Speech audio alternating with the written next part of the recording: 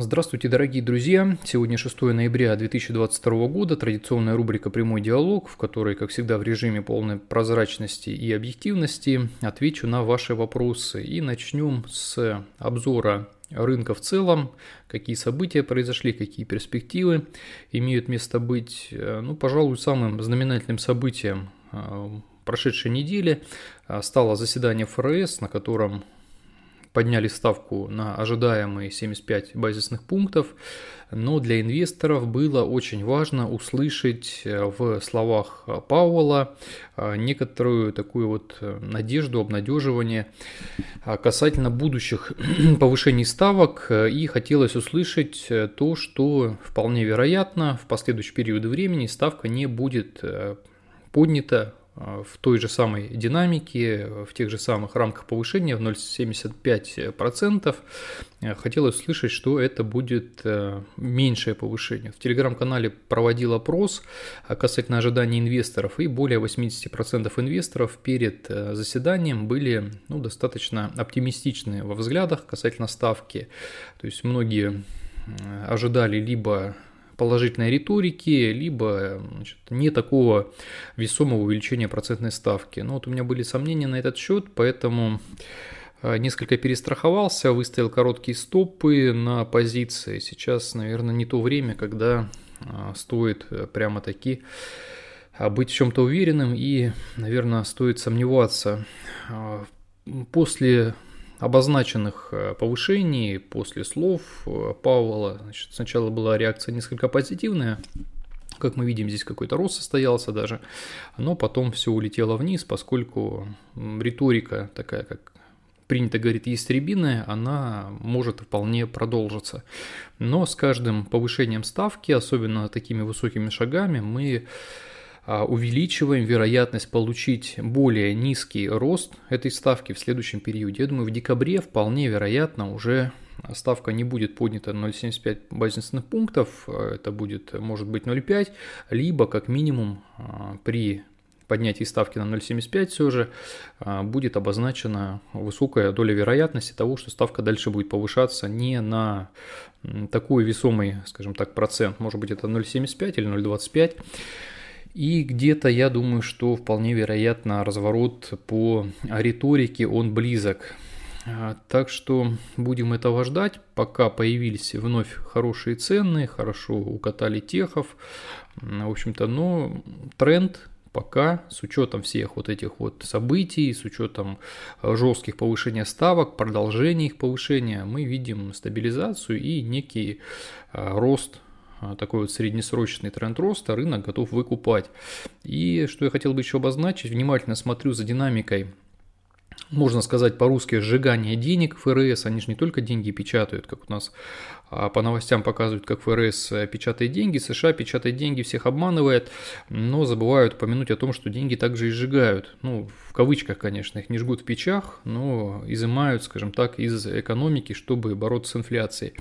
А позитивный фактор Э, посмотрел те данные, которые ФРС предоставляет. За прошедший месяц э, ФРС э, изъяла из рынка около 85 миллиардов долларов при разрешенном объеме там 90 с копейками. Ну, то есть, в принципе, а тренд довольно-таки неплохой. Ранее, когда индексы были дорогими, ФРС могла себе позволить изымать э, деньги порядка объема 20 миллиардов, 25 миллиардов. Сейчас, когда рынок относительно дешев, есть желание покупать и есть нестабильность на других рынках, деньги идут в США, а, соответственно, могут они изымать вот в таких э, значительных объемах.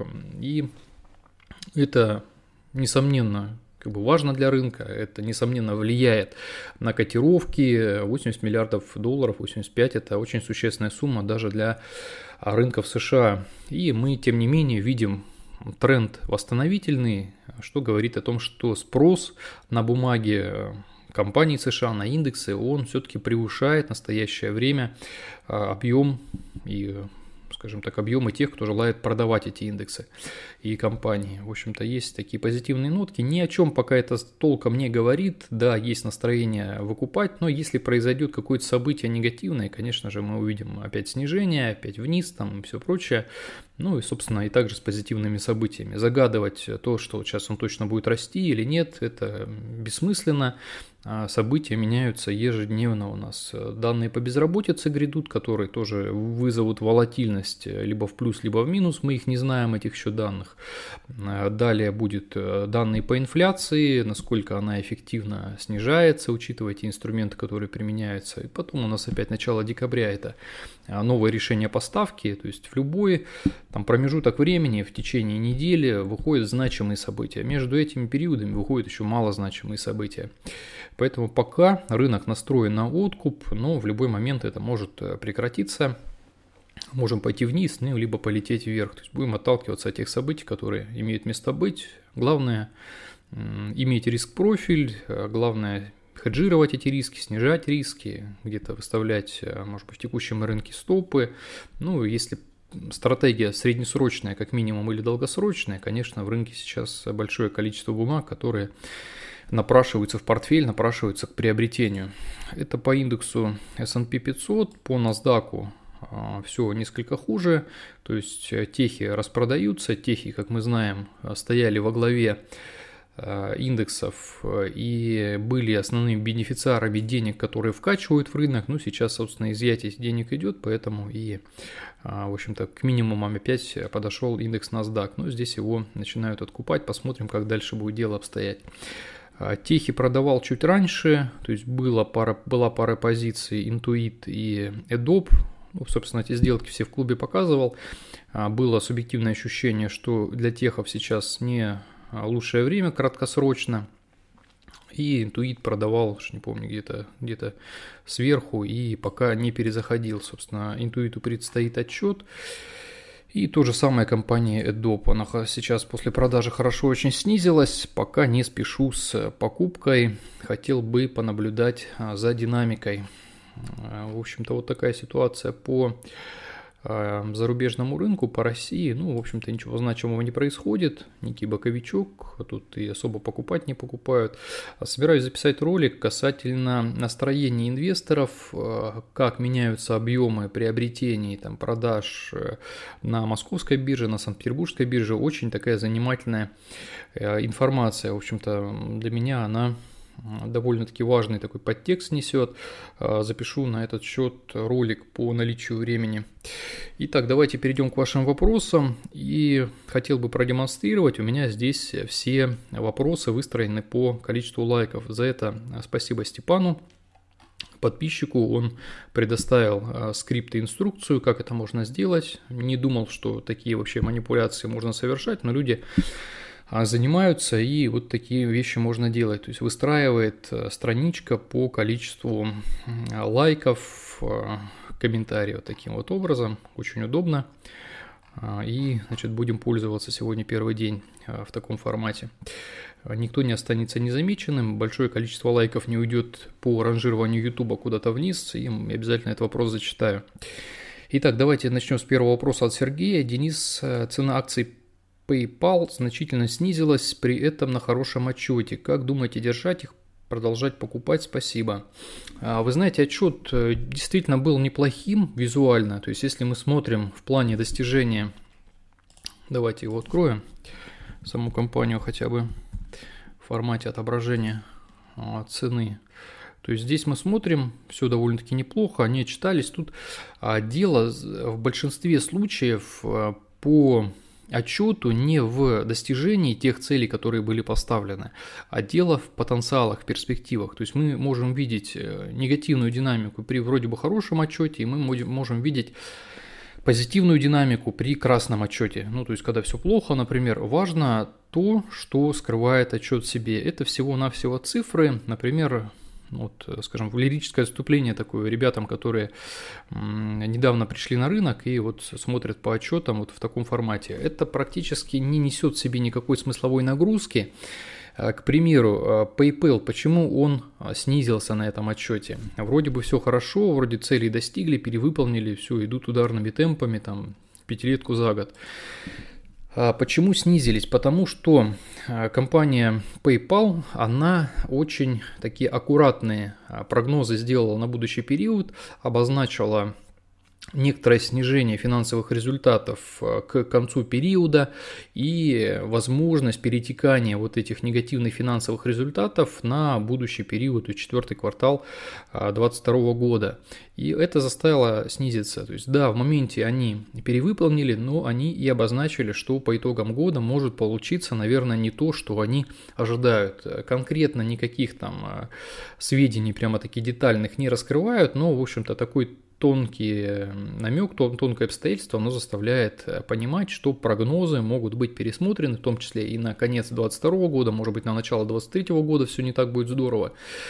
Поэтому компания пошла вниз, с отчетом я ознакомился, смотрел, и вот эти цифры, в общем-то, на них не суть важно – обращать внимание. Самое главное, такие глобальные периоды, как год, э, это наиболее важный процесс. Почему вот я компании не переоцениваю внутри года зачастую, если, конечно, очень значительных каких-то изменений нет. А потому что это вот такие локальные точки контрольные, в общем-то, по достижению, по движению к глобальному результату, хотя бы годовому. Очень важен годовой результат и трехлетка, скажем так. А где-то внутри года, если что-то меняется, то это не суть важно. Главное, чтобы плюс-минус к целям года пришло. Если вот компания пересматривает свои прогнозы на год, она может это сделать и в первом а, квартале, во втором, там, а, и в третьем это уже является более значительным а, таким вот э, моментом, который влияет на котировки. То есть тут у PayPal вроде бы все и неплохо, на самом деле обозначили, что вот может быть что-то не срастется.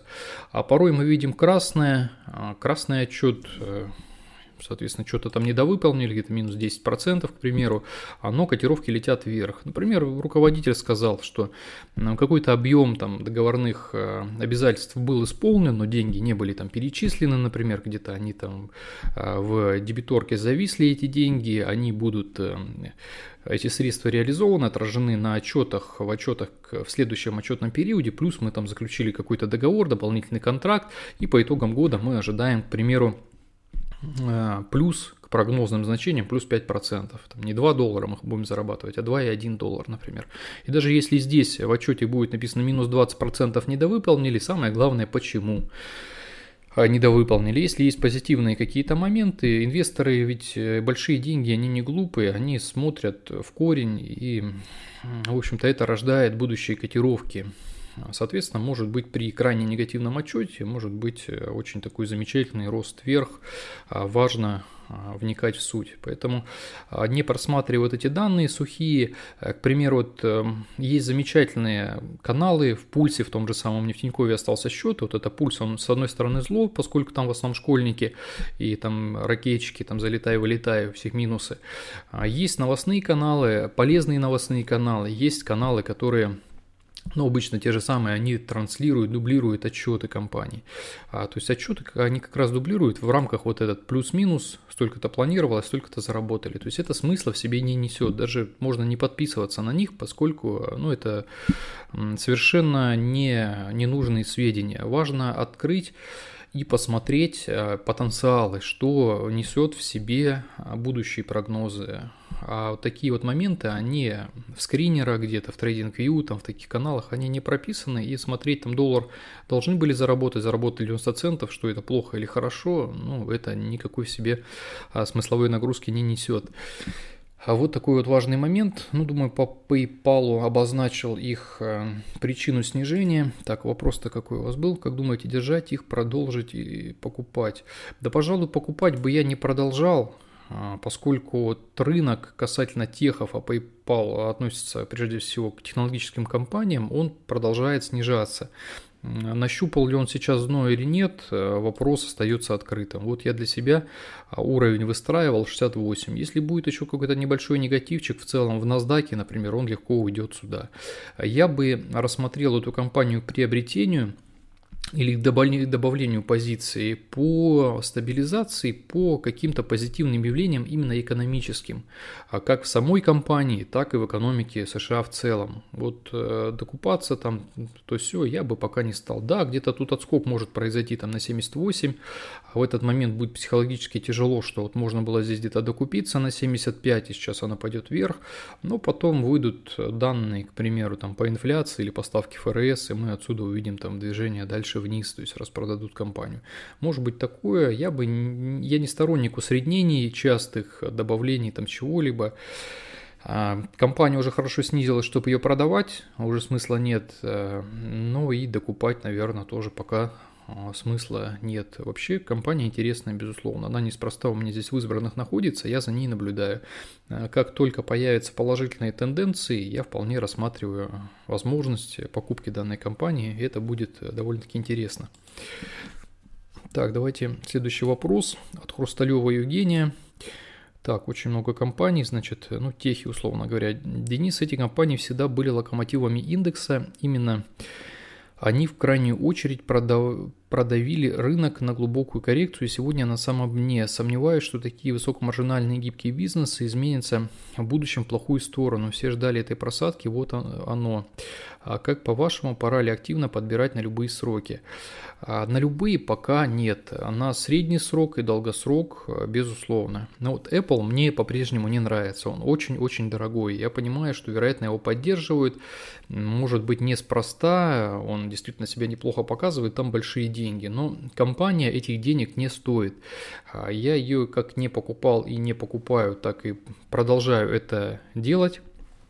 Соответственно, я не готов какой-то очень дорогой бизнес а, держать у себя в портфеле, понимая, что он далеко столько не стоит, что цена ему в два раза меньше, ну пусть там не в два раза, процентов на 40, может быть, э, на 45 меньше, а, не готов. То есть э, только ориентироваться на то, что, скорее всего, поскольку Apple находится в, в главе индекса S&P 500 и занимает долю 6%, только поэтому его а, покупать. Все-таки тут риски могут возникнуть, что-то коса на камень где-то найдет, и, в общем-то, вот эти локомотивы, которые тоже а, Microsoft, там, Google, Amazon и все прочие, они тоже во главе индекса стояли и большие проценты занимали, тем не менее их укатывают а в настоящее время, и что-то может и с Apple произойти, он может улететь просто вниз, э, вот такая ситуация может возникнуть. Все-таки хотелось бы покупать те компании, в которых э, есть уверенность, что те деньги, которые на них затрачены, они адекватные, и та стоимость, которая была уплачена за эти компании, она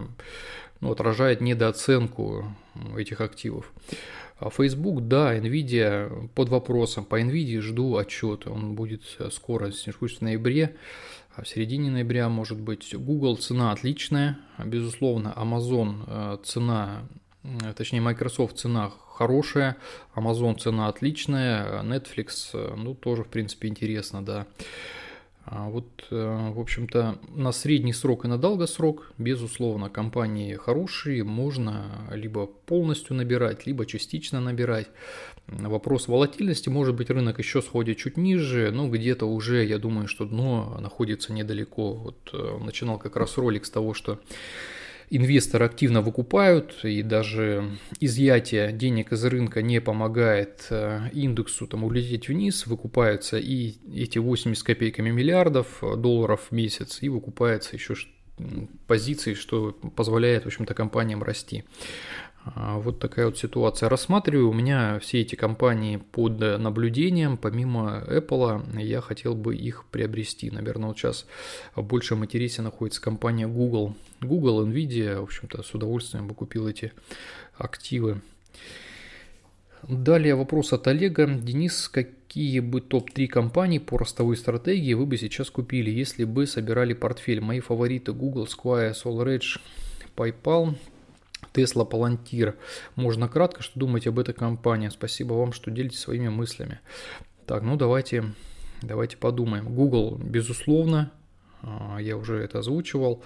Square, пожалуй, я бы, наверное, ну, пока порассматривал бы этот момент, так же как PayPal, а, надо понаблюдать за ними, то есть они неоднозначны в своих вот текущих ценах, да, уже недорого, но а Squire тот же самый.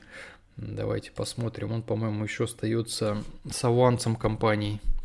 То есть я его едва ли бы сейчас добавлял, но давайте с учетом всех этих снижений все-таки его пересмотрим. Да, наверное, он уже тоже дешевый. А он сейчас почему-то в убытке находится. Формерный PE 33 у него. А, ну да, он такой недорогой, из такой крайне дорогой компании. Он уже стал, ну я бы не сказал, что стоимостной, стоимостной компанией, но стоит Совсем недорого. Совсем недорого. Так, что у них тут? Дополнительная эмиссия идет, активы нарастают. В плюс, ну вот он будет много денег тратить на, на единовременные статьи, визуально будет отображаться у них минус по позициям. Вообще хороший рост. Но, пожалуй, наверное, я бы все-таки сейчас эм, в этот локомотив не стал бы запрыгивать, так же, как с, с PayPal. А, поскольку все-таки такая доля неоднозначности присутствует. Я в настоящее время вижу рынок э, в том отношении, что отличные компании, вот такие как Google, они стоят дешево. И, наверное, я не стал бы на что-то крайне рисковое такое, ну не то, что крайне рисковое, ну со, с таким, с повышенным, э, с повышенными рисками компании не стал бы, пожалуй, ну, выносить как нечто приоритетное. Все-таки, э, когда мы имеем возможность э, купить гигантов, очень сильные большие компании, которые будут однозначно перспективными, ну, насколько это можно сказать с уверенностью, ну, по крайней мере, там 15% рост – вероятнее всего, они будут показывать, что значительно выше роста среднего индекса, даже с учетом а, там, вливания денег и всего прочего. Ну, риски я бы, наверное, минимизировал в этом отношении. И SQ, и PayPal пока бы отложил в долгий ящик. По Solar Edge согласен. Solar Edge будет отчитываться завтра, после закрытия рынка. Я наблюдаю за этой компанией, мне она интересна. И даже рассматриваю возможность приобретения этой компании до отчета. Еще подумаю завтра, как будет складываться события, какая ситуация будет. Я бы хотел эту компанию купить. Э, по рискам у нее что? По рискам это Израиль. То есть, если была, была американская компания, я бы с большей долей вероятности ее приобрел бы до отчета. А вот то, что она израильская, несмотря на очень значимый потенциал ввиду энергокризиса. Я уверен, что альтернативная энергетика будет развиваться в Европе. Это просто необходимо. И наверняка SolarEdge представит какие-то довольно-таки высокие планы. А наверняка превысит объемы продаж. Но Европа в большей экономической сложности находится, чем США. И не исключаю, как говорится, встречные ветры в этом отношении. То есть отчет а, может быть и не таким уж хорошим. То есть тут нужно по рискам посмотреть. Приобретать компанию, конечно, перед отчетом это всегда повышенный риск. Э, то есть э, больше вероятность того, что можно напороться на, на какие-то грабли и получить э, там полбу этими граблями нежели получить какой-то хороший профит. Но это компания, которую я, пожалуй, хотел бы иметь в своем портфеле по ростовой стратегии. И мне не хотелось бы по ней точку входа упустить. Эм, она сейчас находится, давайте, чтобы картинку поменять, не быть голословным, я ее переоценивал. А, ранее уже публиковал эти данные, в каких ценах она может быть для меня интересна. Это вот еще было в начале года, я ей давал цену 200 а, долларов. Собственно, она к 200 долларам подошла и вот сейчас здесь э, крутится. А, немножко распродали ее перед отчетом. Отчет у нее будет 7 ноября, как я и говорил, это уже завтра после закрытия рынка. Если отчет будет хороший, она может отскочить ну, на 10 там, на 15%. И, соответственно, если она улетит вверх, э, то ну, даже от текущих там 220, там, там 240, 250 станет, уже не так будет ее интересно приобретать, она уже будет не такой, эм, скажем так, адекватно оцененной по моим своим субъективным данным. Я уже, наверное, ее покупать, ну, не так все однозначно станет к этому моменту, поэтому хотелось бы, наверное, ее иметь в портфеле, но понимаю те риски, которые могут э, идти за приобретением такой компании перед отчетом. В общем-то, Европа есть Европа. И дальше давайте посмотрим Тесла. Да, интересно, но по Тесле я обозначал свой интерес цены. Может быть, она к нему сходит, может быть, если рынок начнет э, позитивно себя чувствовать, так что Тесла не открывается. Да, в общем-то, 183 доллара, я помню, что я эти данные демонстрировал. 183 доллара. Так, ну бог с ним, не открывается, не открывается, потом откроется. 183 доллара было бы интересно. Сейчас Tesla находится на уровне поддержки, если не ошибусь, там долларов 200, а вот 207 она стоит, там 205-207 это у нее поддержка. Хотелось бы, чтобы она на 183 сходила. А, не знаю, будет э, ли такая возможность. Ну вот, собственно, то, что мы видим. Было бы интересно покупать ее отсюда. Но вообще Tesla, да, Тесла мне интересно. То есть это как и производитель автомобилей, производитель аккумуляторной батареи, производитель а, решений по автопилотам, не связывают Теслу там с Маском как таковым, ведь ну, Маск есть Маск, он может ведь Теслу и продать, может э, работать в других направлениях. То есть часто вижу, на мой взгляд, ошибку инвесторов, которые ассоциируют именно вот компанию Тесла с Маском. Маск это человек, который а, такой глобальный умный человек, безусловно, но Тесла это один из его продуктов. Не стоит отождествлять его а, с другими продуктами. И как Теслу, то есть когда смешивают, например, Теслу Маска там с э, SpaceX, э, там еще что-то, все в одну гребенку, это все разные направления, которыми можно в этот момент заниматься, а можно потом перестать заниматься. Ведь напомню, что PayPal э, – это детище Илона Маска, то есть э, кто историю, например, там смотрел, а, изучал компании, э, Илон Маск начинал свою деятельность как раз-таки с организации компании PayPal, и, в общем-то, она после него активно развивалась, но проект был там продан, и теперь все по-другому там находится. То есть Tesla это Tesla, SpaceX это SpaceX, там Starlink и все прочее, это все отдельные как бы направления, там куча различных у него индустрии задействована, куча разных планов, и это все разные компании. То есть я смотрю, что зачастую инвесторы все смешивают в одну кучу, что Тесла это то же самое, что полеты в космос, это то же самое, что строительство там каких-то подземных эм, Э, маршрутов по перемещению. Нет, это все абсолютно разные темы. И мой взгляд на Теслу, он абсолютно такой консервативный. Я считаю, что трезвый, чисто оценка финансовых э, перспектив данной компании, и они не включают туда ни другие компоненты, ни полеты в космос, там, ни мега-супер роботов, там, ни все прочее. Но интересно, да, вот я Теслу рассматриваю, мне было бы интересно ее купить, еще бы чуть-чуть она подешевела, и так на 50% подешевела, но вот еще бы 10 и было бы прямо-таки совсем интересно. И по Палантиру, это же ракета, а, я по нему еще давно ролик снимал, как только Палантир появлялся, а, все в него влетали, это было будущим, ну, на словах, а по факту мы получили то, что получили, и это то, что, в общем-то, а, следовало, наверное, ожидать. Покупать я Палантира никогда не покупал, все-таки надо пятилетку рисовать, чтобы показать, что такое Палантир.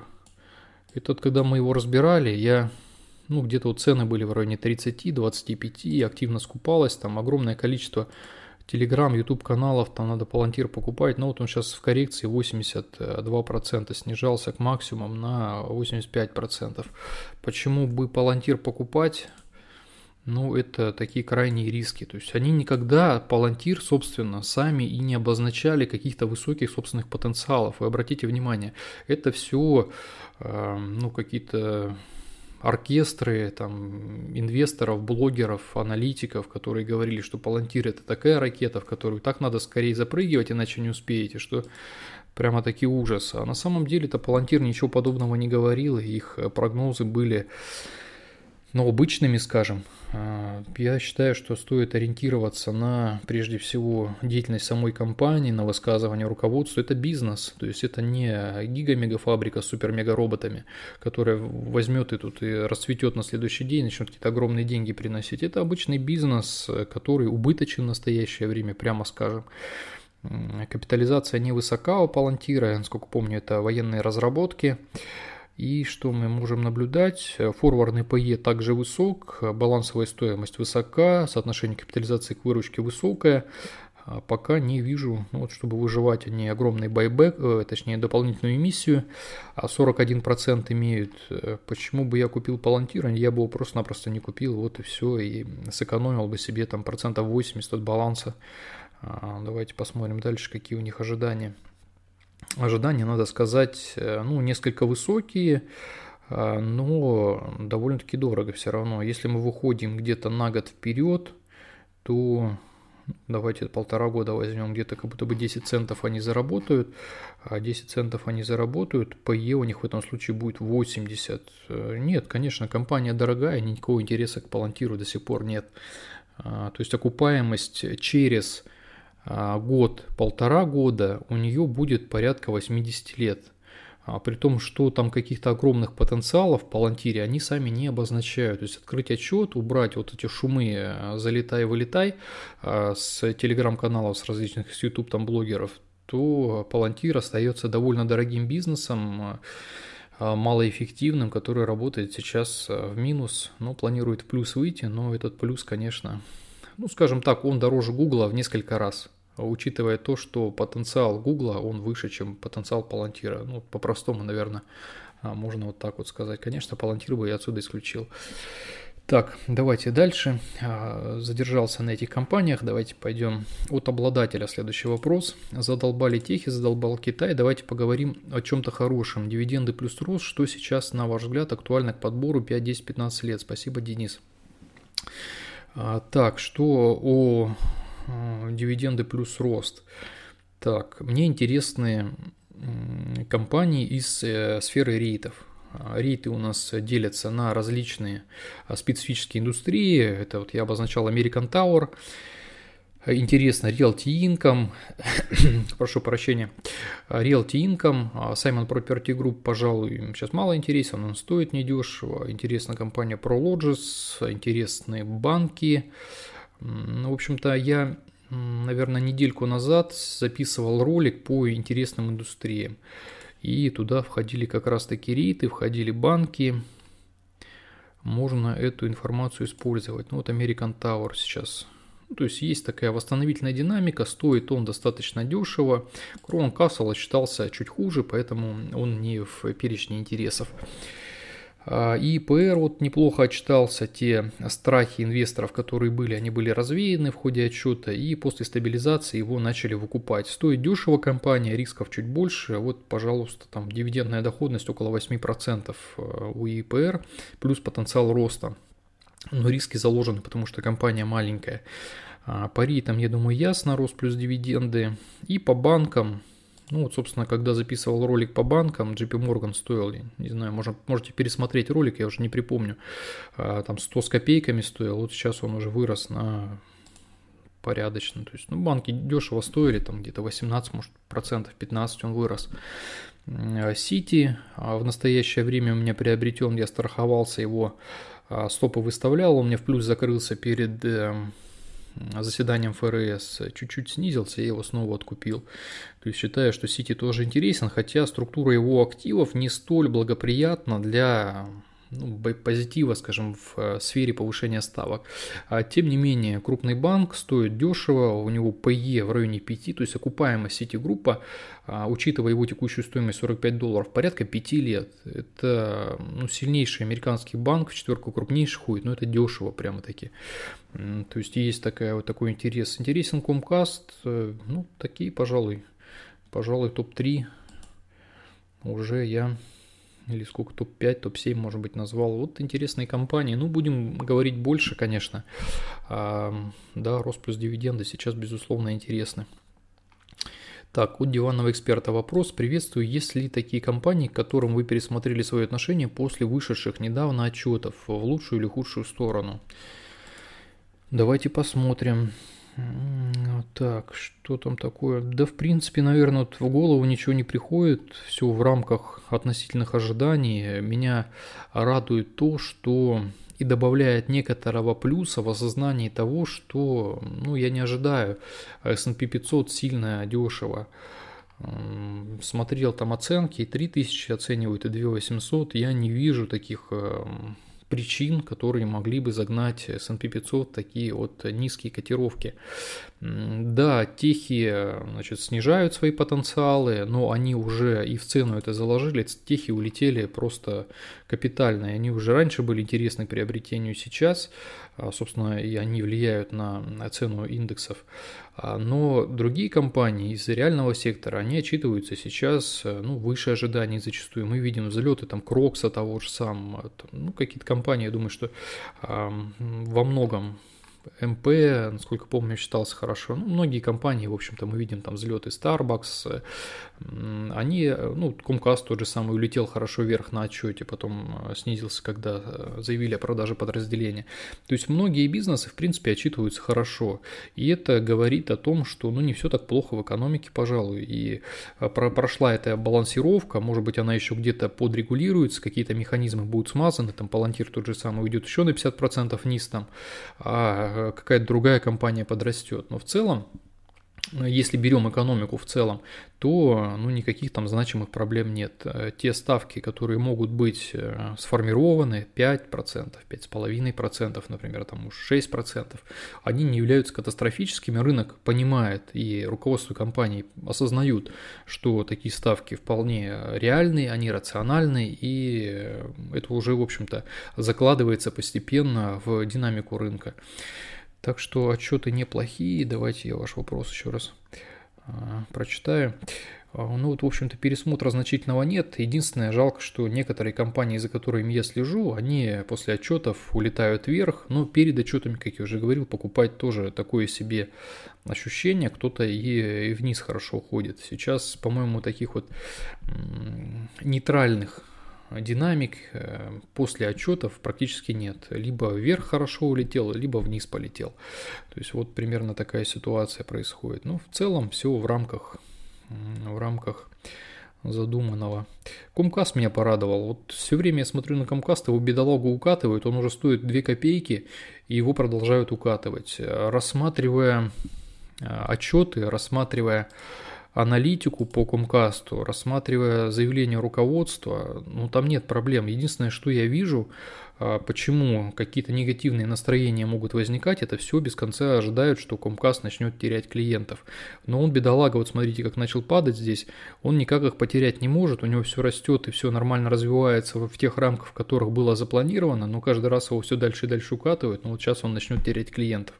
Но вот никак этого не происходит, и мне уже эту компанию жалко, на самом деле она стоит а, крайне дешево, я на нормальную сумму ее приобрел, После очередного отчета, когда они читались выше ожиданий, подтвердили там прогнозы, все неплохо, у них 15 миллиардов на, по моим расчетам, они там не озвучивали детально, но я посчитал, сколько они потратили, сколько купили акций, там в средних ценах и все прочее, у них разрешенный обратный выкуп еще 15 миллиардов. 15 миллиардов для Комкаста – это огромные деньги, это порядка 15% от капитализации они могут выкупать. То есть для этого свободный денежный поток, конечно, требуется. Но в течение там, двух там, лет, если они его реализуют, это в среднем получится по 7,5% в год. Это Apple не снилось такие объемы обратного выкупа. Я считаю, что интересная компания, но куда его еще раз продавать? Он уже 2 копейки стоит, этот Кумкаст, и все, его бедолагу укатывают, ждут, когда же у него клиенты перестанут к нему приходить, а они все приходят и приходят, и вот как-то так получается. А, собственно, вот Комкас порадовал. Далее от Алекса вопрос. Когда уже брать Google, Amazon, Meta? На Meta такой цене с 2015 года не было. Ожидать следующие 5-10 лет такой же рост техов. А, ну, отвечая с конца вопроса, такой рост техов я бы не ожидал. Это рост э, был манипулятивный, то есть мы все понимаем, что скажем, структура развития этих бизнесов, которая отражает э, будущие цены на акции и текущие цены на акции. То есть бизнес растет, например, в, ну, в рамках, условно говоря, так утрированно на 10% в год. Google зарабатывал миллиард, стал миллиард сто зарабатывать, то есть э, улучшился на 10%, то и котировки рационально могут на 10% вырасти. Ну, там вмешиваются, конечно, такие позиции, как обратный выкуп, где-то Google выкупил своих акций, стал э, покупателем в стакане на рынке тоже цены приподнял, плюс э, ввиду обратного выкупа, к примеру, снизилось количество обыкновенных акций в обращении, соответственно, выросла ЕПС на каждую из акций. А, ну, такие моменты тоже имеют место быть, там плюс-минус, э, но Техи в последние периоды росли именно за счет вливания денежных средств. Огромные деньги шли, были напечатаны э, для экономики США, были влиты в рынки, чтобы поддержать экономику вертолетные деньги, которые вкладывались тоже в фондовый рынок. Собственно, сейчас это дело нивелировалось, охладилось, и э, вот то, что мы видели, конечно, я бы не ожидал в последующие периоды такого роста, ну, если только ФРС опять начнет печатать деньги, там, триллионами вкладывать в рынок. Но пока это было бы просто экономическое безумие, они бы разогнали инфляцию, было бы все довольно-таки печально у них.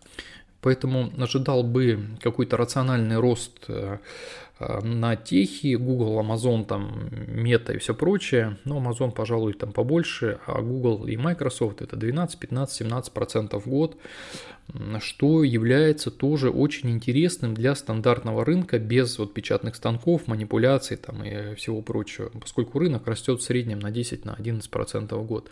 А техи имеют больше потенциала в настоящее время. А покупать, да, в принципе, на ваш вопрос ответил, помете, пока бы еще а, рассмотрел. Все-таки хотелось бы видеть финансовый результат от их огромных вложений в метавселенную, пока его нет. Ну вот как он начнет формироваться, я думаю, тогда будет интересно. А пока результатов значимых нет, может еще мета ну, себя по-разному почувствовать. От Константина вопрос следующий. Денис, добрый день. Каким акциям, какой индустрии вы сейчас присматриваете для покупки ваш портфель? А, ну, собственно, выше уже обозначил. Это рейты, я их уже и купил, пару единиц рейтов. А, купил Citigroup в портфель, альтернативную энергетику рассматриваю. А, рассматриваю приобретение Tesla, желательно по возможности, чтобы она еще упала. Смотрю на техи, первостепенно это Google. Ну вот, пожалуй, такие вот. Интуит тот же самый интересен рассматриваем. Интуит, по-моему, учитывается у нас скоро. Давайте посмотрим его. Так, куда-то он убежал. Да, интуит будет отчитываться, пока не а, до момента отчетности я его приобретать не буду. Почему он сейчас снизился, там было падение. Они притормозили набор новых сотрудников, а, что может говорить о том, что в ходе отчета предстоящего будут обозначены не такие высокие потенциалы, как а, изначально планировалось. То есть это такие звоночки, которые начинают поступать. Если бы компания семимильными шагами планировала развиваться и дальше, наверное, бы она не притормаживала найм новых сотрудников. Вот, то есть э, отчет является такой некой угрозой, неким риском, который я бы а, сначала миновал, а потом рассматривал приобретение. Пожалуй, такие направления, которые интересны. Так, следующий вопрос от Аллы. Метроник, как считаете, Денис, не пора подбирать? 3,2 див доходность увеличивается на 8% в год, с дивидендной доходностью на 47 выше среднего за 5 лет и более низким, чем обычно форвардным коэффициентом PE. Метроник может быть недооценена. Ну, вот интересный у вас подход, он правильный очень, смотрю, так все по полочкам разложили. Аргументы, стоимости, все интересно. Давайте Метроник посмотрим. Он сейчас у меня не в области интересов находится. А, интересны, наверное, более такие крупные компании, на мой взгляд. Ну вот медицинское оборудование, пожалуй, там Эббот тот же самый интересен. Вообще форвардный PE, конечно, у него низкий. Может быть, стоит мне его тоже добавить и посмотреть. 15 всего форвардный PE. Так, Метроник у нас отчитывался. Когда он отчитался, а, ну вот видите, отчет ему предстоит. То есть рассматривать имеет смысл его только после отчета. Вот как отчитается, вот 29.01 я переоценивал, считаю, что цена ему 120 э, а, долларов за одну акцию была бы оптимальна. Сейчас очень хорошо медицинское оборудование снизилось, но вот Метроник, я смотрю, уже стал а, совершенно недорогим. Там Thermo Fisher Scientific, например, такие вот крупные компании, не все еще дорогие. Хотя там, ну, прям огромных перспектив э, не планируют. Просто это защитная индустрия, люди готовы за эту защиту платить э, и переплачивать. И, в общем-то, Медтроник в этом отношении, я смотрю, сейчас стоит довольно-таки дешево и по балансовой цене, и по соотношению выручки капитализации, и по непосредственно по Е. 66% платит э, payout ratio. Ну, в общем-то, вот этот payout ratio высокий, он снизится сильно в перспективе одного года и будет где-то 45, 50 может быть. Так, давайте посмотрим. Долговую нагрузку снижает, это хорошо. То есть Метроник не всегда нравился, компания адекватная. Вопрос сейчас сугубо в цене. 3,8 доллара закрывает в настоящее время. Так, так, так, да, и хорошо подрастет у него финансовый результат. Но вот будущие периоды, конечно, как мы видим, есть ожидание совсем скромного роста на будущие периоды. Ну вот относительно. Я бы, наверное, просто сейчас взял на паузу этот процесс, как минимум дождался бы отчета тех потенциалов, которые обозначат Метроник, будут ли какие-то изменения, может быть, что-то в положительную сторону изменится. А, но Ну и стоимость, в общем-то, недорогая, учитывая то, что индустрия защитная. Я бы сказал, что ну, пока в нейтрале. То есть я бы понаблюдал все-таки еще за индустрией. Те потенциалы, которые были ранее обозначены, вот Метроник мы еще разбирали пару лет назад, у них были возможности более высокие, там 20% э, роста бизнеса в горизонте среднесрочном. Сейчас они, э, ну, несколько, скажем, свои планы выполнили, сейчас они обозначают более такие консервативные э, прогнозы на будущие периоды. Хотелось бы увидеть по нему некий позитив, прежде чем начать его покупать. Вообще, конечно, компания сейчас стоит недорого. А, но на паузе, пара, пожалуй. Так, от Влада вопрос. Добрый день, Денис. В свое время NTNT только за компанию Warner Bros. дала 100 миллиардов, а сейчас VB э, плюс Discovery стоит 25 миллиардов. Возникает вопрос, это NTNT переплатила за компанию или есть большая перепроданность в этой бумаге? Зрители канала, поддержите лайком. Так, ВБД недавно отчитывались. Вы знаете, к ней а, сейчас интереса большого нет, субъективно, и поясню почему, к Warner Bros. Discovery. А поскольку компания маленькая, и она недавно как вы верно заметили, было слияние с Discovery, Warner Bros. плюс Discovery и так далее. То есть они как единый организм а, функционируют совсем недавно. Я по ней снимал ролик а, с такой несколько нейтральной оценкой. И необходимо было рассмотреть компанию в отрезке времени, насколько этот единый организм, этот симбиоз двух компаний, он будет функционировать э, ну, в реальном бизнесе. Пока, как мы видим, компания снижается, здесь что-то они не дотянули очень значительно, 189%.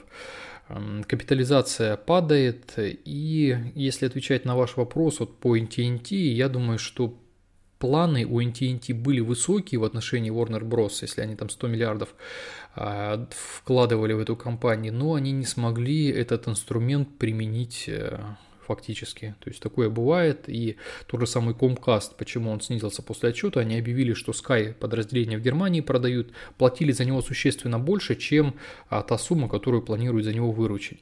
Там в чем проблема была?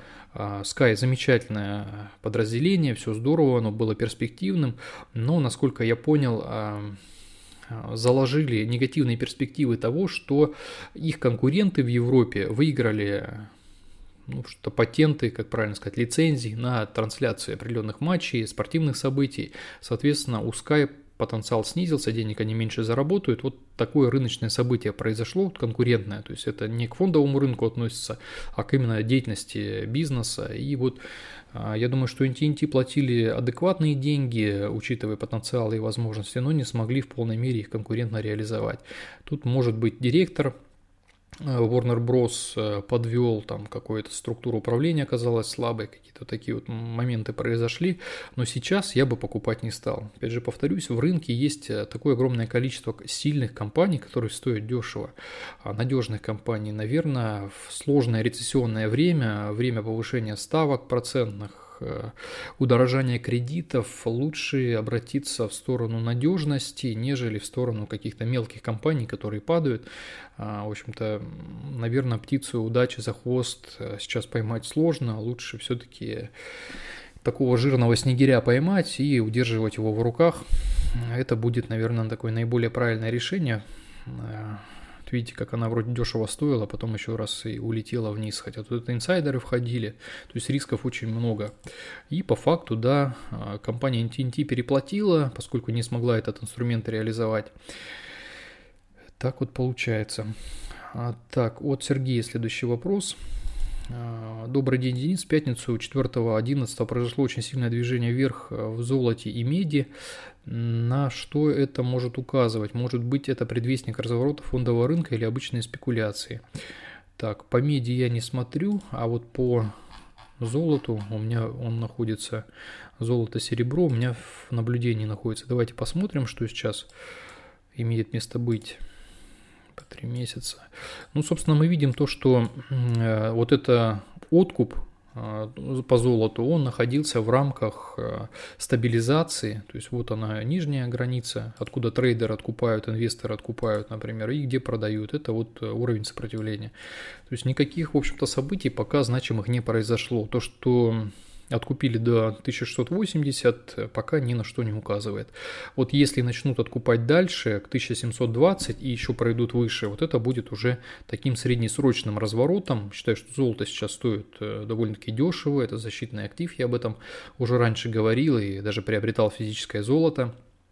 Я считаю, что это будет э, неплохая такая возможность для России сохранить свои денежные средства, их нельзя там какой-то замочек на них нарисовать на этом золоте, поскольку оно физическое, а, не стал бы хранить денежные средства там где-то в сберегательной кассе или на банковском счете, тем более валюту, то золото замечательный такой инструмент, который сейчас возможно приобрести и в физическом выражении, и в э, плане там золотодобытчиков, там риски возрастают, конечно, если какие-то компании иметь зарубежные.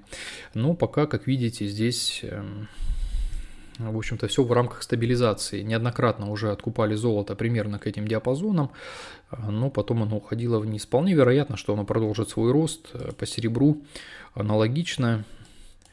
Давайте посмотрим, что тут. Наверняка у меня тоже есть свои позиции. Ну да, здесь я уже вижу, что TradingView не подгрузил. Тут есть уровни и по серебру. То есть это вот уровень стабилизации идет, волатильность э, довольно-таки широкая, пока все в рамках э, той э, тенденции, стабилизации, которая имела место быть. Пока разворота здесь никакого нет, но вполне вероятно, что он может произойти. То есть золото, золотодобытчики, они, безусловно, в области интересов. Так, следующий вопрос от Косром. Алиджин после отчета снижения входа инсайдеров, что скажете? Действительно, были три входа инсайдеров, эти данные я опубликовал а, в клубе, это является интересным моментом, рассматривал, также пересматривал отчет. А, что важно заметить, э, ну такая вот политика интересная, опять же, в формате лирического отступления, а, в отчете компании Allegiant там фигурировала сумма обратного выкупа акций на 1 миллиард э, долларов, если не ошибусь. На конец э, 2022 года осталось у них порядка 200-250 миллионов долларов на откуп акций. И руководитель компании, он, в общем-то, в формате такой приверженности бизнеса, той компании, в которой он руководит, он обозначил, что свои деньги вложит а, на приобретение акций в районе 2 миллионов долларов. Это, кстати, вот он и покупал Можете посмотреть, раньше было объявление того, что вот он купит, и он действительно купил, подождал такого момента удобного, купил, и с ним купили еще пара человек.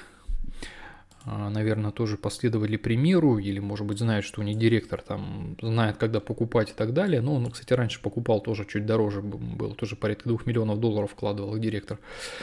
Цена хорошая, безусловно, PE на горизонту 2022 года по отчетности порядка 20, насколько я помню. Эта компания тоже из дорогих перешла в разряд э, ну, практически стоимостных. Потенциал увеличения финпотоков у них а, достаточно неплохой. А, ну, интересно.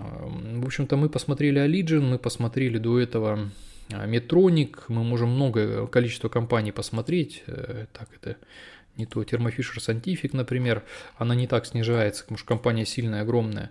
Но вот по медицинским оборудованию, медицинским инструментам идет действительно очень большая распродажа, компании дешевеют, и, безусловно, это является таким интересным фактором. Сейчас 180 долларов она стоит, а я рассматриваю компанию к приобретению. Вот хотелось бы еще увидеть все-таки какого-то разворотика, желательно по рынку в целом, а, с позитивными какими-то новостями, например, что инфляция вот уже там 7,9, например, процентов, там 7,5 процентов, ну, утрирую.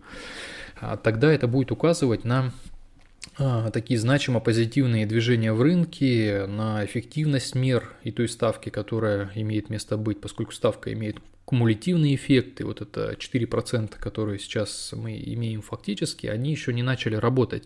А в настоящее время против инфляции работает ставка там 2-3%, ну даже меньше, 2-2,5%, пожалуй.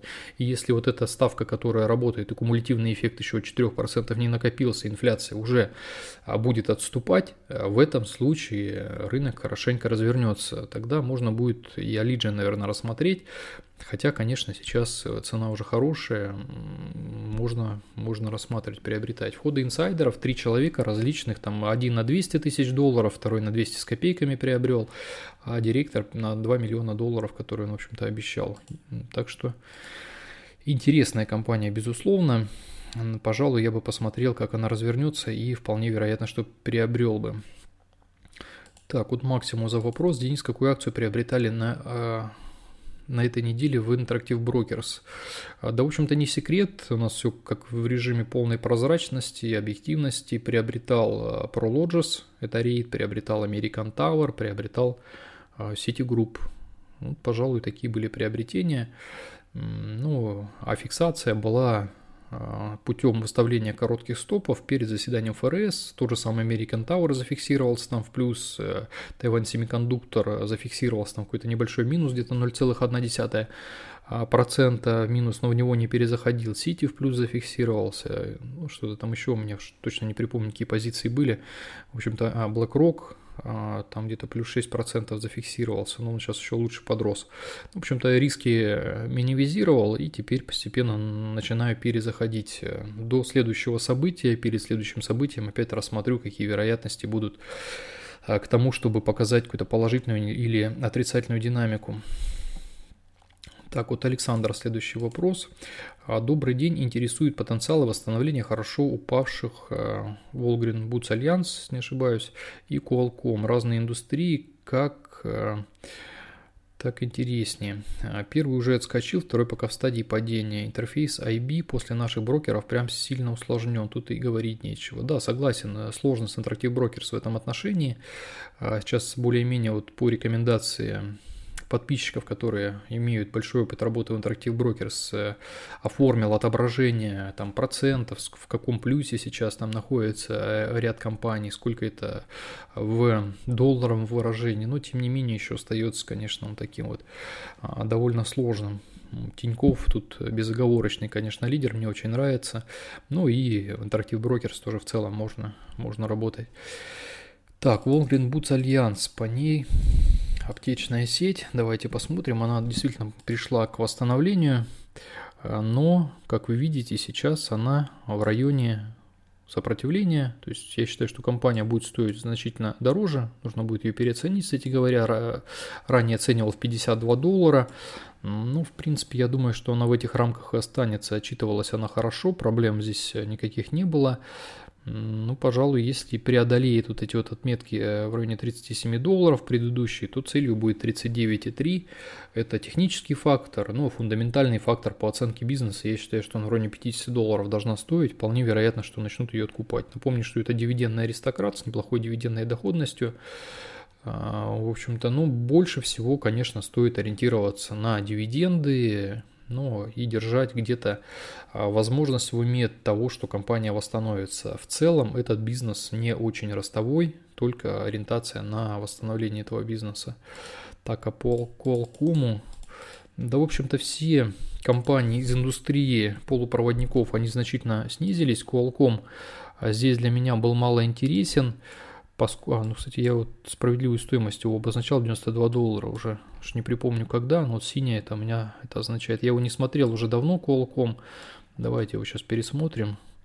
Пока я бы, наверное, его не покупал бы Qualcomm. Почему-то мне он не нравился, я его 92 доллара оценивал. Ну, в общем-то, когда-то, наверное, это казалось нереальным, но сейчас он уже снизился на 44%. Ну, и где-то 50% вполне может снизиться к 92 долларам. Давайте его посмотрим, что с ним. Я помню, там у него нестабильные финансовые результаты, по-моему, долговая нагрузка высокая.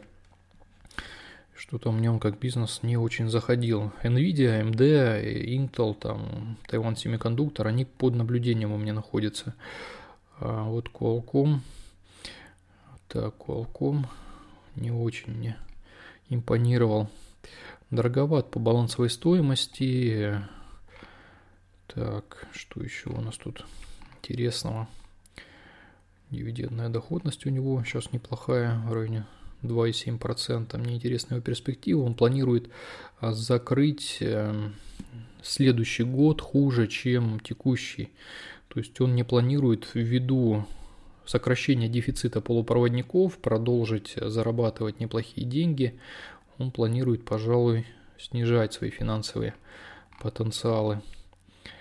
Так, он дополнительную эмиссию осуществлял, что было логично, потому что выгодно было ему денег э, заработать в высоких котировках и откупить эти акции а, несколько дешевле. Сейчас 11,3 доллара зарабатывает по итогам 2020 года. Здесь данных нет, но, в общем-то, имеется определенная стагнация на будущий период с потенциалом в районе 10% а, в год. Угу. Ну, не будем глубоко смотреть Qualcomm. А, чтобы время много не тратить, уже практически час, хотелось бы еще на вопрос ответить, тоже я бы обозначил его как э, некоторая нейтраль, э, приобретать бы не стал. Я полу, по, по полупроводникам мне больше интересен Тайвань Семикондуктор, он хорошо отпадал, э, хорошие перспективы есть, это один из крупнейших производителей, несмотря на ситуацию там с Китаем эти риски, в общем-то он поддерживается США, планы открытия а, новых предприятий на нейтральных территориях. И ну, вот NVIDIA интересно, то есть это диверсифицированная такая компания – которая может э, в случае чего а, выезжать, вытягивать свои финансовые потоки даже с учетом снижения спроса на полупроводники, минования вот этого высокого ажиотажа на них. Вот Qualcomm мне все-таки не интересен, ну вот раньше я про него просчитывал, просматривал 92 доллара, я, пожалуй, бы так и оставил. Но обратите внимание, он сейчас хуже рынка себя чувствует, э, хуже NASDAQ, хуже S&P, хуже не знаю, NVIDIA той же самой, которая как вы видим, она постепенно начинает восстанавливаться, уже неплохие тут плюсы показала AMD.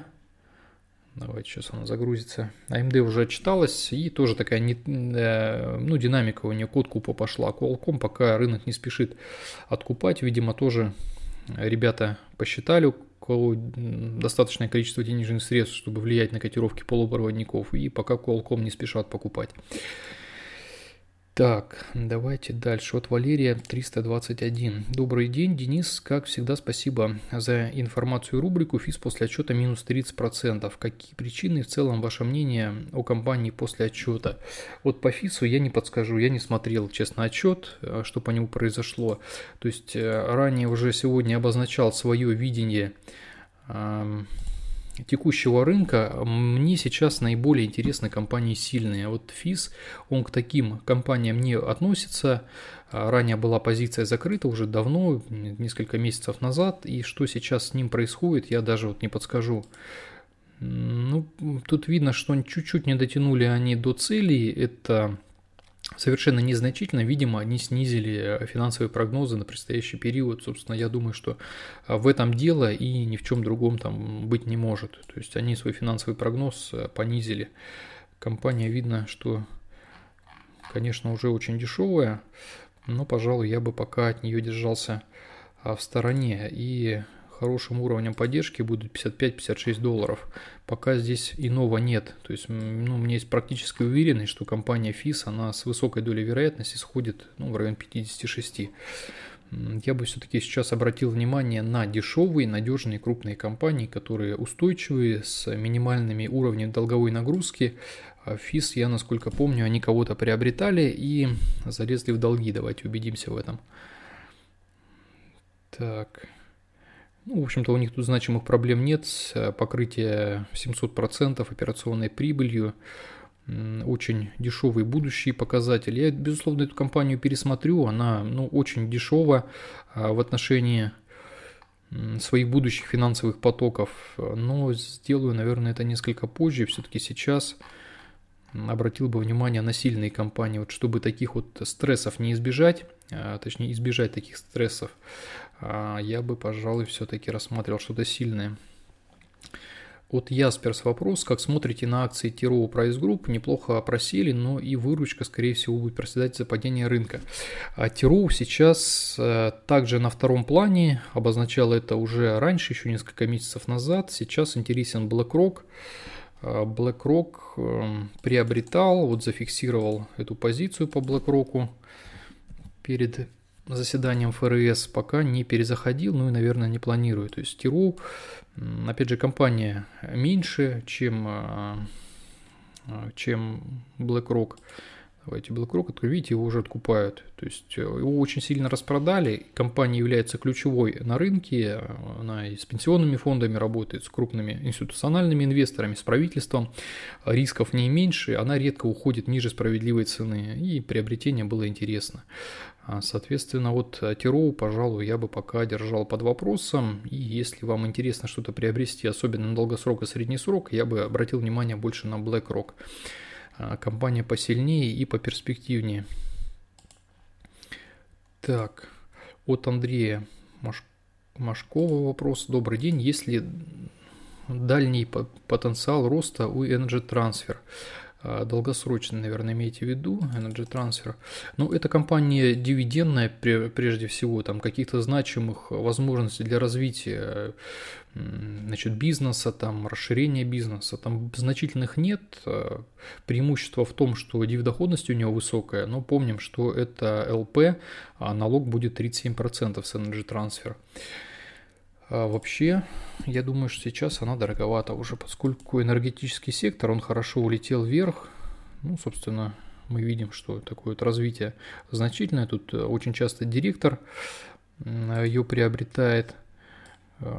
Есть, конечно, но если вы смотрите на дивидендную доходность, безусловно, компания будет, э, скорее всего, этой дивидендной доходностью обладать, неспроста ее директор скупает, у него очень хороший финансовый поток от дивидендов, он э, активно, по-русски говоря, топит за выплаты дивидендов, потому что он получает прежде всего такую большую, скажем так, большой кусок пирога от этих дивидендов, э, да, но в плане приобретения сейчас, конечно, бы я покупать не стал, она дорога, в районе исторических максимумов находится.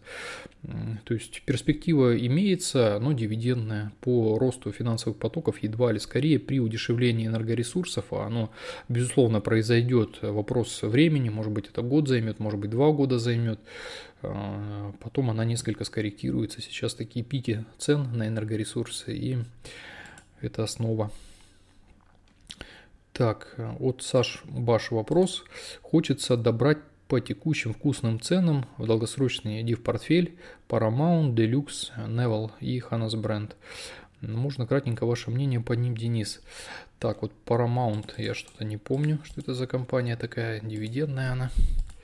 Вообще, общее впечатление у меня сейчас, э, которое я хотел бы вот как основу и цель дать, это приобретение скорее компаний, которые э, являются сильные. А, это Viacom CBS, э, понял, ее переименовали в Paramount. Ну, вообще по Viacom я свои оценки давал, она компания довольно слабая.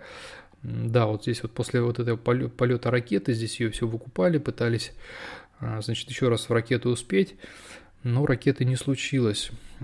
Так, форвардный ПЕ в районе 10. Я оцениваю компанию довольно-таки слабенько. Давайте посмотрим, что у нее сейчас вкратце.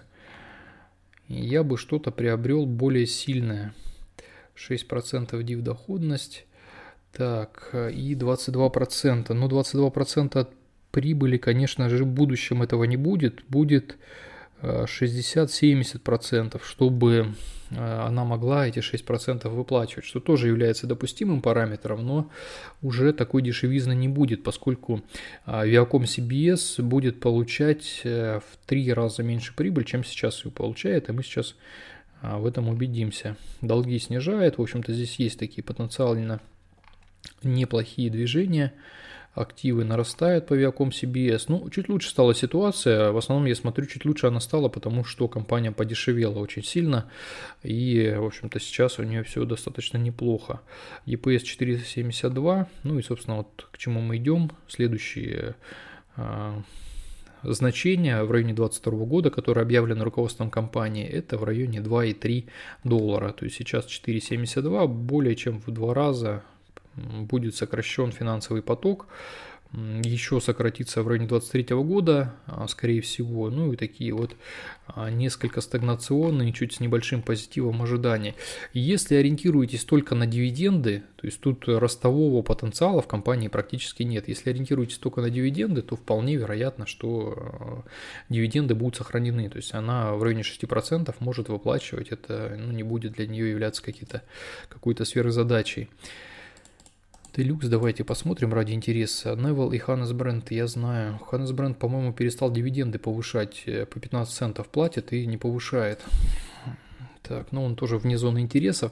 Э, все-таки я хотел бы донести свою позицию, что лучше все-таки сильные компании брать.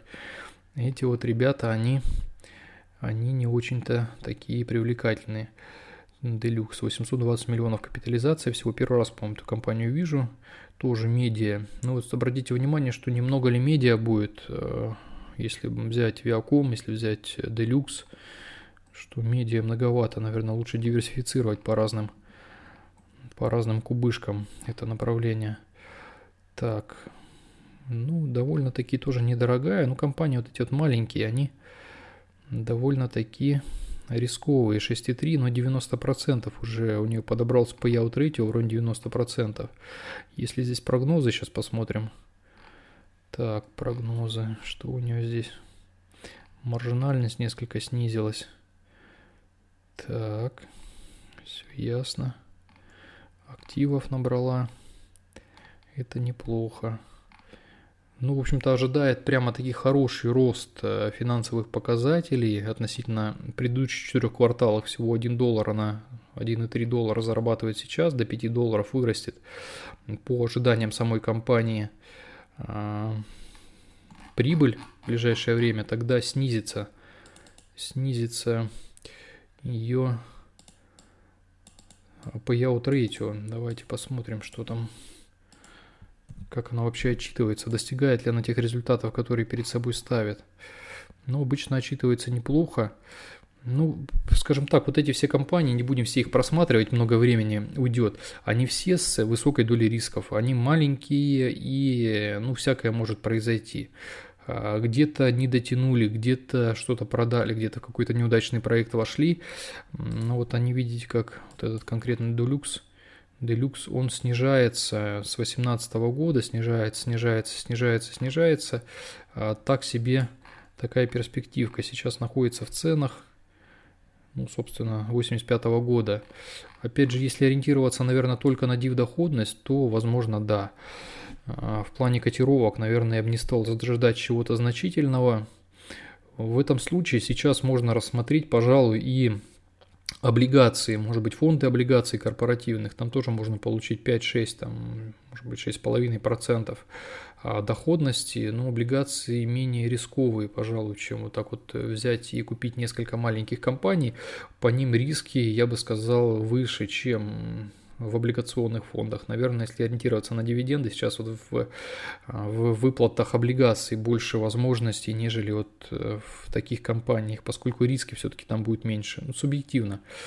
И Hannesbred и Neville, у них аналогичная ситуация, маленькие активы, такие довольно-таки слабенькие, да, там все неплохо, почему-то мне в голову запала Ханнес Бренд, что он 15 центов платит и больше не, не повышает эту доходность, то есть ее а, по большому счету съест инфляция рано или поздно. Давайте посмотрим, может быть что-то поменялось у Ханнес бренда. Так, так, не дата нам нужна, а дивиденды.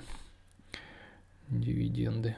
То есть сейчас 6%, а через год э, уже меньше. Ну, то есть э, также и 6 и будет, просто что инфляция подъезд. Э, нужно хотя бы, чтобы компания повышала на величину инфляции. Да, вот у меня почему-то в голову запало эти 15 центов, поэтому я эту компанию в принципе не рассматривал. То есть инфляция будет съедать покупательскую способность этих денежных средств и доходность фактически на возможность потребительскую, она будет снижаться со временем. Все-таки хотелось бы, чтобы компании, которые платят э, дивиденды, повышали минимум там, на 3-4% а, в год, чтобы, исходя из нормального уровня инфляции, э, значит, потребительская, ваши потребительские возможности, они либо оставались на том же уровне, либо лучше росли со временем.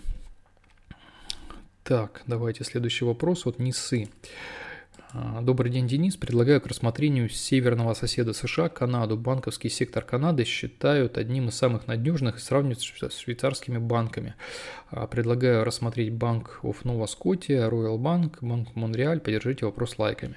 Ну, давайте один рассмотрим. Я думаю, что у них динамика, в принципе, у этих банков а, схожа, так же, как она ориентировочно схожа у крупной четверки американских банков. Они чувствуют себя, как правило, примерно одинаково чтобы все три банка не смотреть сегодня, мы посмотрим вот первый банк, который вы указали. Я помню, что там и доходность неплохая, они упали не так а, сильно, как а, снизились э, там ряд американских банков. В общем-то, вариантом они являются, может быть, и станут какой-то альтернативой, диверсификацией. А, довольно-таки дешевый банк э, по евро не 7, но вот Сити я приобретал с по евро не 5. А, и это, в общем-то, я считаю довольно-таки интересно. Так, небольшой рост они ожидают по финпотокам, ну, довольно консервативный. Price to book за 1 доллар а, собственности компании мы платим доллар 20 центов, это тоже довольно-таки дешево.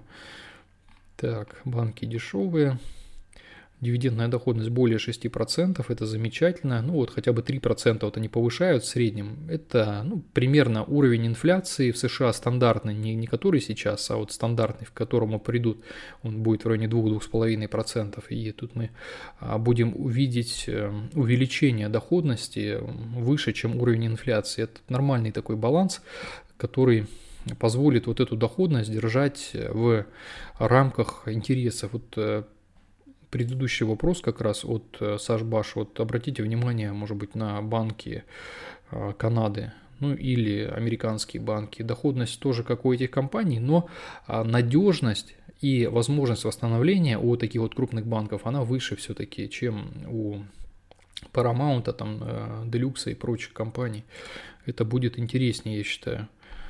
А, то есть тут структура управления совсем иная. Это крупные компании с на которых завязаны экономические процессы, в том числе канадские, они правительством будут поддерживаться. Вот если Делюкс будет загибаться, ему, скажем так, руки не подаст никто. А вот если такой банк, с ним какие-то проблемы могут произойти или сложности временные, то, вероятнее всего, все будет у него в порядке. Так, так, все понятно, активы у него возрастают. В целом нормальный банк, э, я бы сказал, консервативный, не ждал бы от него э, каких-то высоких результатов, так же, как от Сити, от того же самого. Тут возможность, что по этому банку, что по Сити, восстановление в среднесрочном периоде и в момент, пока оно не наступило, есть хорошая дивидендная доходность, есть низкие цены, которые сейчас за этот банк просят. А, то есть это такая стоимостная, стоимостная покупка, 6,6 зарабатывает, ну 6,7, наверное, там 6,28.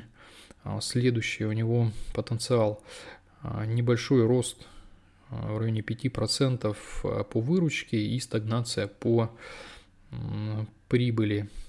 Ну да, в общем-то, все такое в рамках ожиданий. Больше сейчас ориентир на дивиденды, и пока не завершатся вот эти сложности э, с экономикой, с мировой, а банки где-то могут топтаться на этом уровне, я не думаю, что еще снизится. Он и так дешевый уже.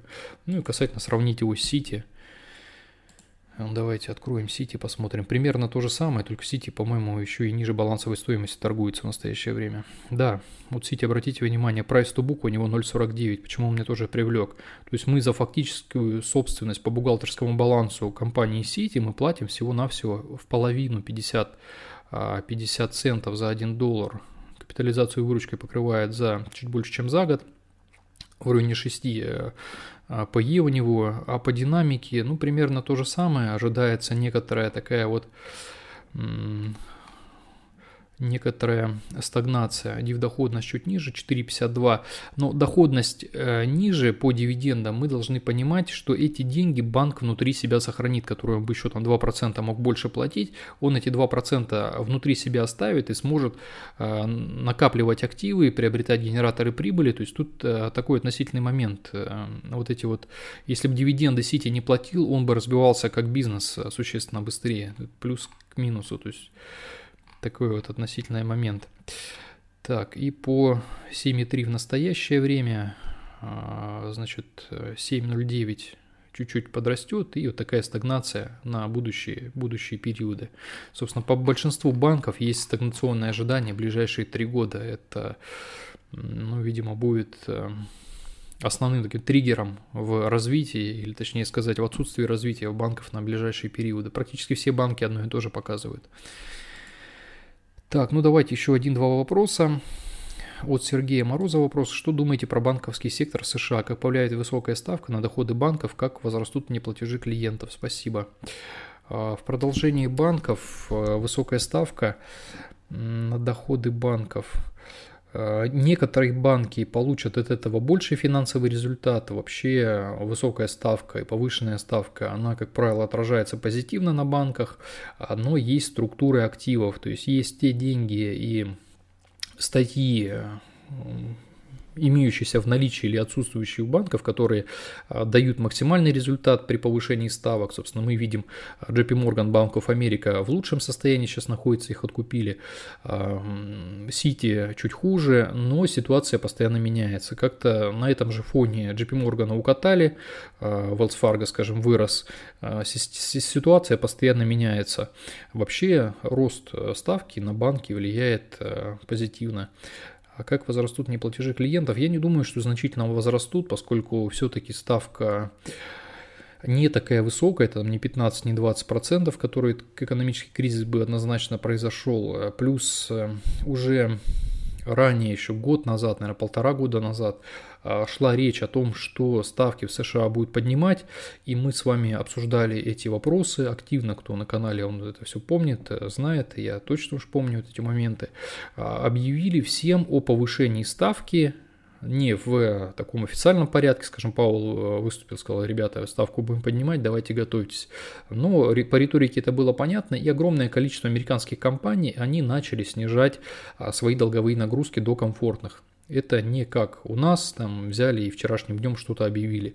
Это все сделали заранее, и компании, которые имели риски, они, в общем-то, снизили свои а, долговые обязательства. По многим компаниям вы можете открыть и увидеть, что в 2021 году были снижены, снижена долговая нагрузка до комфортной, например, если она была какая-то не очень комфортная. Они ориентируются на определенную ставку и понимают, сколько нужно будет процентов им платить, либо они перешли на более Э, долгосрочные инструменты, более там, длинные облигации, например, выпустили. А, то есть это не является снегом на голову, а осень там, или зима у них наступила не случайно абсолютно. А, в общем-то, я не думаю, что это значимо как-то скажется на неплатежах клиентов. Конечно, в какой-то процент, может быть, возрастет, может быть, физики, где-то им сложнее будет что-то делать, там где-то ипотечные какие-то вопросы могут возникнуть, но как что-то глобальное, ну, вряд ли произойдет. Все это а, в режиме, в режиме плановом происходит.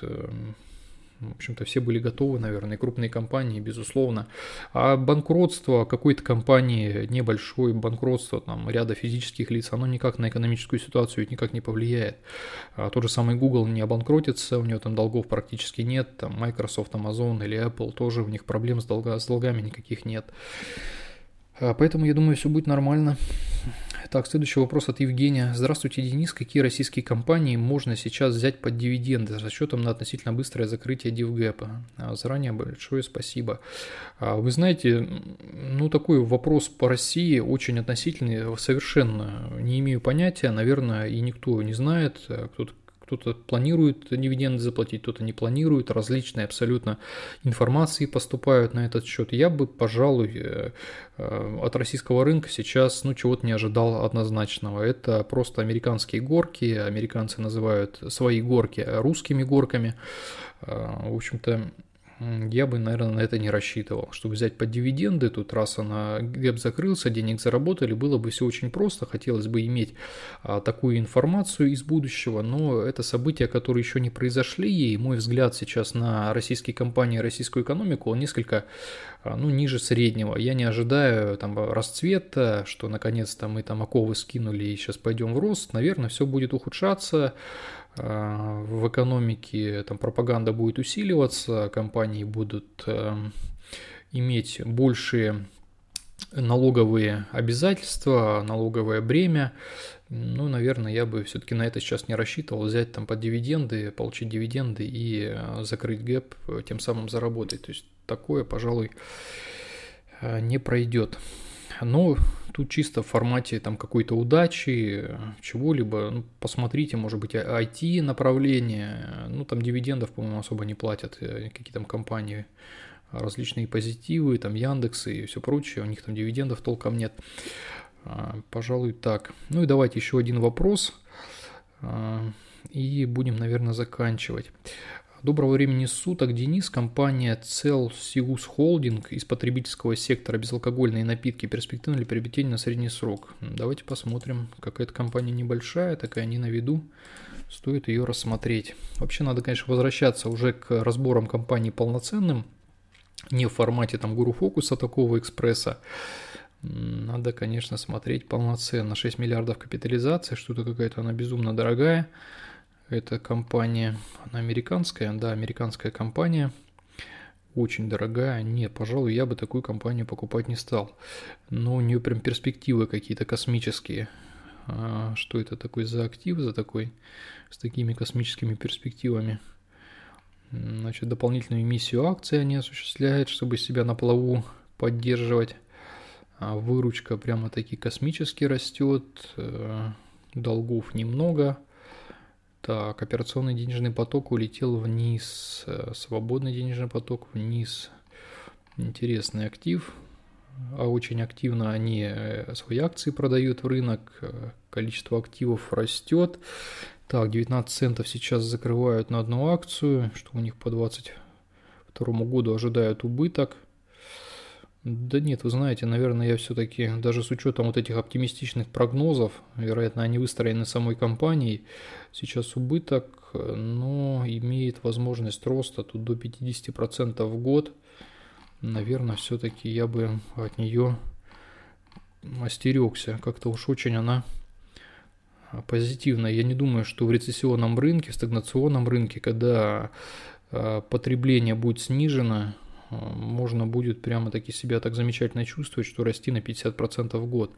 Наверное, сейчас не то время для таких ракет. А учитывая, если эта ракета не произойдет, и мы имеем очень высокую сейчас цену на эту компанию, форвард по евро не 70, это на секундочку там, почти в два раза больше, чем у компании Nvidia, которая всегда была ракетой, например, а, то здесь вот эта ракета может хорошо припасть процентов на 50, на 70. Но если а, она добьется тех финансовых результатов, которые она перед собой поставила, то, безусловно, эта цена может быть оправдана. Но у меня скептические сейчас вот настроения в отношении данной компании, поскольку рынок, рынок довольно-таки операционная прибыль вот отрицательная, это меня смущает довольно-таки сильно. То есть есть вот, уже визуально смотрю, есть определенные дырки финансовой э, отчетности, которые у меня вызывают вопросы. И тут такая доля неоднозначности а, присутствует. Как они спланируют э, увеличивать финансовые результаты и так огромными темпами наращивать свои прибыли. Ведь у них ну, не так быстро все растет, и отрицательная операционная прибыль, что они тут делают, расширяются за свой счет, тут кого-то приобрели за 14 миллионов долларов, в 2019 году увеличивали свои, свои финансовые возможности. Так, давайте еще посмотрим тогда, как она отчитывается динамически, мне интересно, не дурят ли они голову людям. Так, давайте по годам посмотрим. В целом отчет у них адекватный, а что-то я уже ее, кстати говоря, раньше и переоценивал. Где-то были видимо, запросы на переоценку данной компании. Вот я оценивал ее в 20 долларов. А, так. Это было январь 22 года. Январь 22 года. Это где-то вот здесь вот она когда 50 стоила, я ей 20 долларов дал. Нет, пожалуй, я бы, а, конечно, к компании сейчас ну, относился довольно-таки скептически все-таки пусть эта ракета, если она ракета улетит, бог с ней, но рисковать бы, наверное, деньгами не стал, потому что сейчас она очень дорого стоит, и все-таки вероятность того, что она снизится, значимо выше, чем того, что она вырастет. Вот такое вот такое мнение насчет компании. Так, ну давайте еще один вопрос от The Gabun. Здравствуйте, Денис. Центральные банки стран мира скупили рекордный с 1967 года объем золота в третьем квартале 2022 года. Почему? К чему они готовятся? Кто из золотодобытчиков, производителей золота в США, на ваш взгляд, является лидером этой отрасли? А, лидер э, – это Newmount. А, на втором месте я бы поставил Berry э, Gold, на третье место я поставил бы Royal Gold. А, вот, собственно, такая ситуация. Сейчас Newmount обладает еще хорошей дивдоходностью. Если есть желание а, приобрести защитные активы, золотодобытчики являются именно а, таким вот защитным направлением, и золото вдруг будет дальше стагнировать или расти не будет, по крайней мере, вы получите неплохую доходность, она порядка 5% от Newmount. Ну, а Berry Gold, он дешевый, то есть э, можно его тоже рассматривать, потому что он э, стоит дешево, значительно дешевле, чем Newmount. Почему банки скупают рекордный объем золота? Мое личное мнение, что страхуются, вот э, у них куда деньги-то вкладывать? У банков, представляете, вот вы банк, у вас э, есть энное количество миллиардов долларов, триллионов долларов, огромные деньги, то есть и от, от распределения этих денежных средств зависит ваше будущее. Вам, естественно, нужно эти деньги куда-то эффективно вложить, как минимум их не потерять. То есть банки иксы не зарабатывают, им это не нужно, они э, там, берут деньги, дают под более высокие ставки, куда-то а, активы какие-то приобретают и так далее. Денег куча в настоящее время, а куда вложить? Рынки падают, риски огромные в акциях, в фондах, э, инфляция 8%, то есть Представляете, с каким а, объемом эти деньги горят. То есть, если у вас лежит триллион долларов, к примеру, гипотетически, 8% сгорает. Это ну, огромные деньги. Куда-то нужно вкладывать. Я думаю, что они выбирают в настоящее время такую защитную тактику, они приобретают золото. Э, по крайней мере, э, ну, в общем-то, деньги не будут сгорать в таком объеме, в котором это имеет место быть. Если вдруг дальше будут ставки повышаться, рынки падать, э, не знаю, какая-то гиперинфляция разовьется, еще что-то, по крайней мере, эти средства будут э, в чем-то вложены, в чем-то защитном и не сгорят э, в том виде, в, которое, в котором могли бы это сделать, просто находясь на счетах. Вот э, в голову приходит что?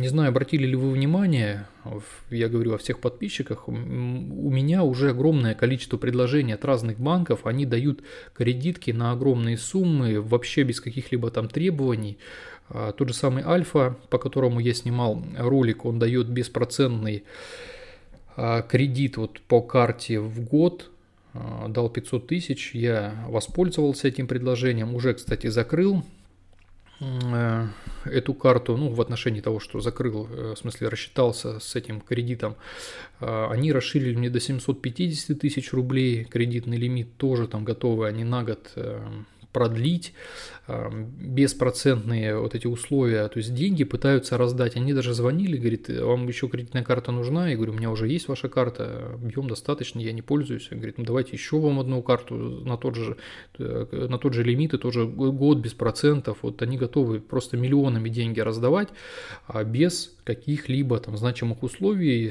лишь бы людям деньги эти вручить.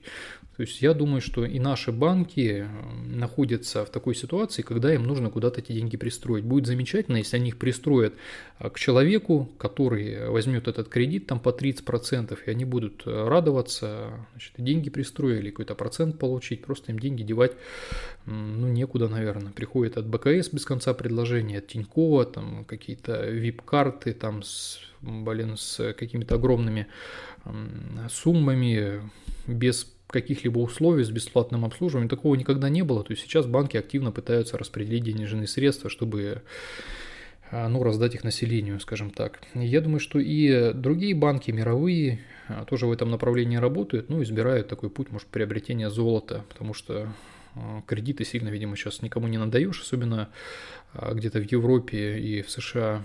Там такое защитное направление для себя избрали вполне рационально, наверное, вот чтобы сохранить капитал как минимум. А, это мое субъективное мнение, безусловно. А, в целом, что хочу сказать, никого не слушайте, меня не слушайте, рассматривайте все объективные данные только самостоятельно, как по самим компаниям, так и по мировой экономике, макроэкономике. Это будет самый такой правильный выбор. А, как всегда, все полезные ссылки в описании. Зайдите, посмотрите к ролику.